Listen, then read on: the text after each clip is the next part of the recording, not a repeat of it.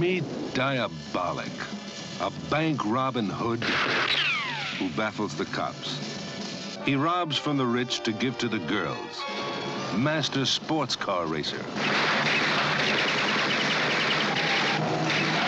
Master lover. Ask Eva.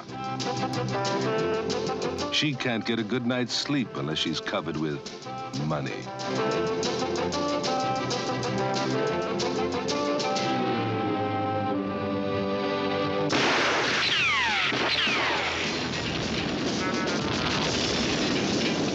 Diabolik. The absolute gold-plated end.